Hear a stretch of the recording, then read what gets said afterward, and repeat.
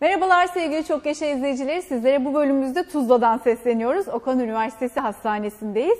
Görme bozukluğu olup da artık gözlük takmak istemeyen tüm izleyicilerimizi ekran başına çağırıyoruz. Çünkü bizler şu anda göz sağlığı ve hastalıkları uzmanı yardımcı doçent doktor Başak Bostancı ile birlikteyiz. Lazer cerrahisiyle görme bozukluklarının tedavisini konuşuyor olacağız. Eğer sizin de bu konuyla ilgili aktarmak istediğiniz sorular olursa ekranın altında görmüş olduğunuz iletişim numaralarından bizlere iletebilirsiniz. Merhabalar hocam, hoş geldiniz programımıza. Hoş bulduk, teşekkürler.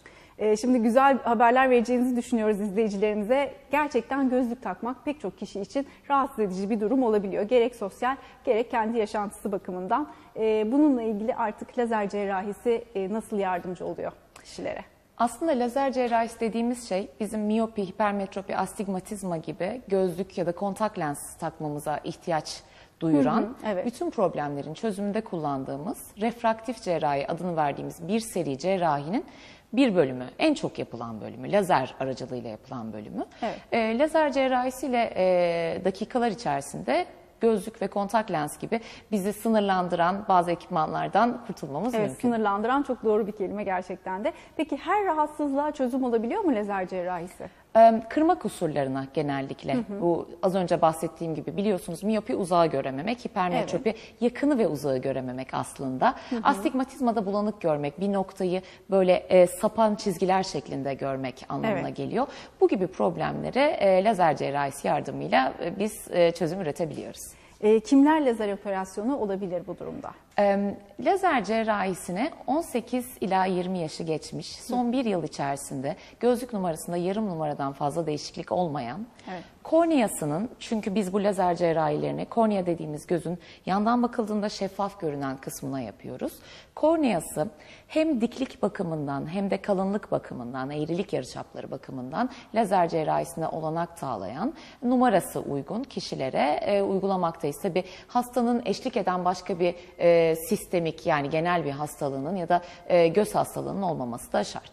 Şimdi alt yaş sınırı olarak 18 dediniz, üst yaş sınırı var mı? Aslında bir üst yaş sınırımız yok ancak e, 55-60 yaşın üzerine gelindiğinde artık katarakla ilgili yani gözün iç tarafında kırıcılığı sağlayan bizim doğal merceğimizle ilgili bazı değişiklikler başladığından o zaman lazer cerrahisinden ziyade daha göz içi operasyonlarla hastanın hem uzak hem de yakın problemini çözmeye O çalışıyoruz. zaman yaşlar fazla ilerlemeden lazer cerrahisinden yararlanmakta fayda var.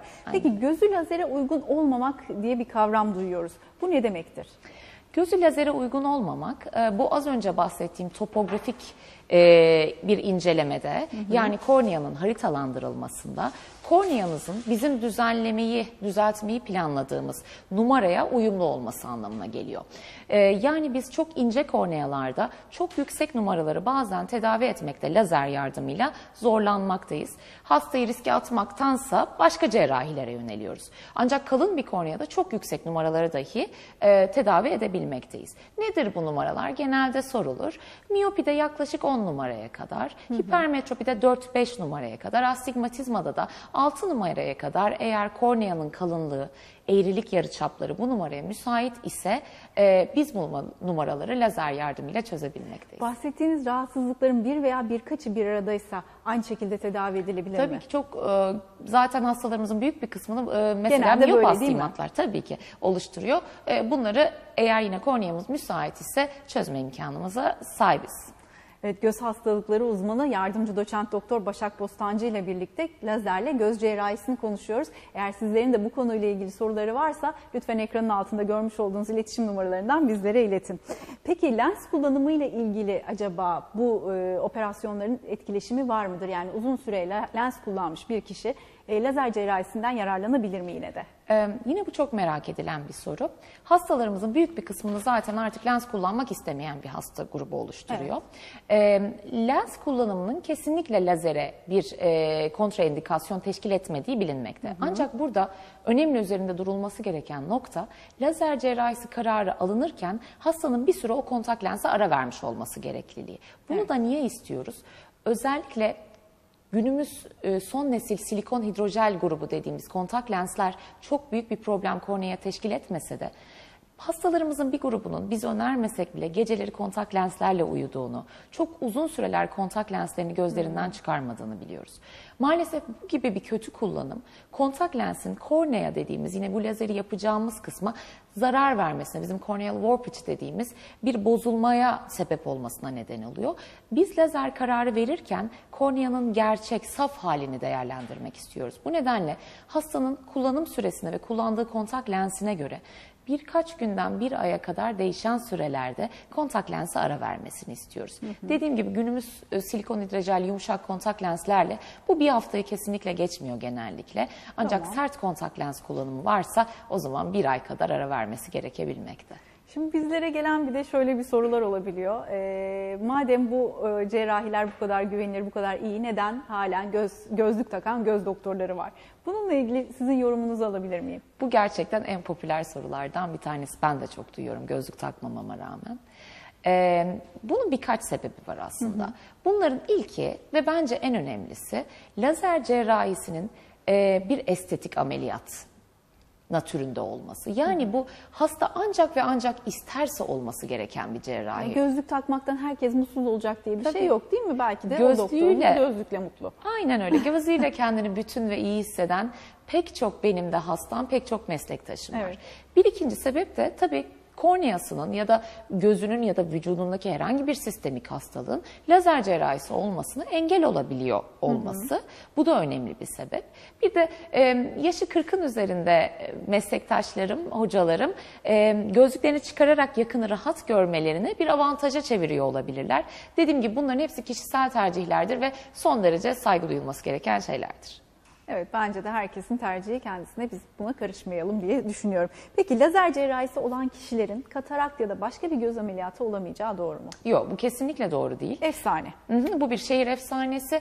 Ee, Katarak cerrahisinde tek yapılması gereken şey lazer olduğunuzu olduğunu bildiğiniz bir kişiye özel bir formülle gözün içine yerleştirilecek merceğin sayısında, numarasında bir ufak değişiklik yapılması. Artık bunu elle de yapmak zorunda değiliz. Bunu direkt ölçen, bu hasta lazer olduysa şu merceği takacaksınız diyen e, bizim biyometri cihazlarımız var. So- son teknoloji kullanan bütün merkezlerde var bu cihazlardan.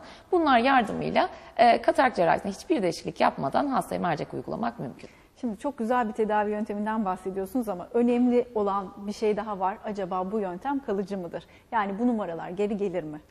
Ee, evet, bunu hastalarım çok soruyorlar. Ee, burada önemli olan hastanın düzelteceğiniz numarasıyla hastanın yaşını bir ölçekte değerlendirerek hastaya net e, öngörebilir cevaplar vermek, öngörülebilir. E, ben genelde şöyle yapıyorum. E, hastam eğer göz numarası değişmeyen, son bir yıl içerisinde artış göstermemiş bir hastaysa, 21 yaşın üzerindeyse, hastayı yine de bilgilendiriyorum. Eğer çok yüksek bir düzeltme yapacak isem, bunun çok küçük bir kısmının ileride uygulayacağım metoda göre geri gelebileceğinden hastaya bahsediyorum. Ee, tabii bunu belirleyen bazı faktörler var. Nedir bunlar? Kornea dediğimiz bu lazeri yaptığımız yerin yara yeri iyileşme faktörleri. Ee, hastaya net, akıcı bir şekilde bunları anlatırsanız, zaten hastanın beklentilerini buna göre kurgularsanız hiçbir sorun yaşamıyorsunuz hastayla ilişkinizde ileride.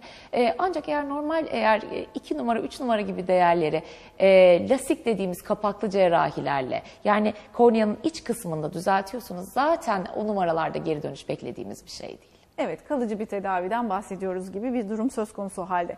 Peki hocam, e, ekranları başına yeni geçen izleyiciler için e, bir baştan toparlayabilir miyiz? Şimdi görme kusurlarının lazer cerrahisiyle giderilmesinden bahsediyoruz. Hangi kusurlardı? Ve biraz da e, tedavi sürecinden bahsedelim. Hastalar neler yaşıyor? E, onları anlatın bize lütfen.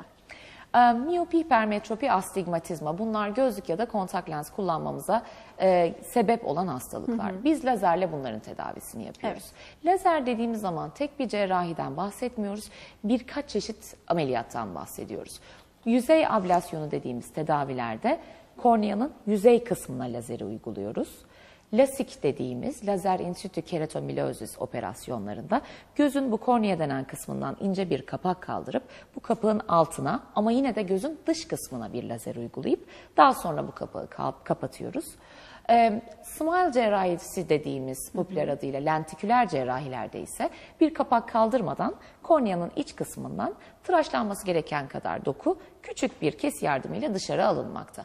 Bunların hepsi o hastaya yönelik seçimle karar verilecek şeyler. Yani bazen bir hastaya üç cerrahinin türü de uygun olabilir. Ancak bazen ince kornealı bir hastaya örneğin bunlardan sadece yüzey ablasyonu uygun olabilmekte. Burada hastaya şahsi bir seçimi konuşarak, anlaşarak yapıyoruz ve daha sonra hastaya uzun bir açıklamayla bu lazer nasıl olacak, kaç dakika sürecek, sonrasında neler yapması gerekecek ayrıntılı olarak anlatıyoruz. Ancak şunu söyleyebilirim ki lazer cerrahileri 15-20 dakikayı aşmayan cerrahilerdir. Güzel. Sonrasında hastanede kalmalarına gerek yoktur. Yaklaşık olarak bir ay süreyle ilaç kullanmaları gerekir ama damla formundadır bu ilaçlar ve günde genellikle 3 ila 4 damla e, kafi gelmektedir. E, sonrasında da gerektiği dönemlerde bir suni gözyaşı takviyesiyle hastalarımızı e, zaten sosyal hayatlarına ilk günden itibaren çoğu zaman biz e, yollayabilmekteyiz. Cerrahiden sonra hastanın üzerine düşenler nelerdir? Bir sınırlama var mı hayatında diye soracaktım. Biraz cevapladınız ama Evet. detaylandırabilirsiniz. Yine de biraz detaylandıralım. Yüzey cerrahilerinde yani korneanın direkt yüzeyine yaptığımız cerrahilerde 2 ila 3 gün kadar bir ağrı yanma batma olabilir. Bu dönemde hastanın ilaçlarını kullanması haricinde, gözüne su değirmemesi haricinde e, herhangi bir hastadan beklentimiz olmamakta. Tabii ki hastanın birinci hafta ve birinci ayında kontrollere gelmesini önemsiyoruz. Ancak çok fazla bize hem dış ülkelerden hem de şehir dışından gelen hastamız oluyor. O zaman biz cerrahi yaptıktan sonra 2 ila 3 gün sonra bir daha görüyoruz ve daha sonra ilaçların nasıl kullanacağını tarif ederek bir ay sonra orada bir hekim arkadaşıma görünmesini hastadan talep ederek hastaları hem ülkelerine hem de şehirlerine gönderebilmekteyiz. Yani yurt dışından gelen gelecek olan izleyicilerimizin 2-3 gün ayırmaları Evet, yeterli yeterli oluyor genellikle. Sonrasında ülkelerinde tedaviye devam edebiliyorlar. Aynen öyle. Harika. Peki gözü lazere uygun değil ama gözlük kullanmak da istemiyor.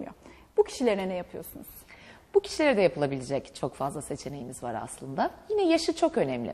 Genç yaşlarda, daha yakın görmenin korunduğu yaşlarda biz eğer gözün anatomik özellikleri uygunsa katarakt ameliyatı yapmadan bir göz içi mercek yerleşimiyle yüksek numaraları özellikle tedavi etme şansına sahibiz. Ee, Ancak yaşı 50-55 yaşın üzerine gelmiş. Artık lensinde yani doğal merceğinde bozulmalar eğer başladıysa hastamızın bu sefer bir katarak cerrahisi yardımıyla eğer gözün arka tarafının yapıları ve vücudun diğer e, organları uygunsa buna hem uzağı hem ara mesafeyi hem de yakın mesafeyi düzelten e, merceklerden faydalanarak hastayı yine gözlüksüz konforlu bir yaşama e, yönlendirebilmekteyiz. Yani her zaman gözlüklerden kurtulmak için bir umut var. evet her zaman bir Umudunuzu umudumuz var. kaybetmeyin ama doğru uzmana ve doğru merkeze başvurun. En önemli konu da bu.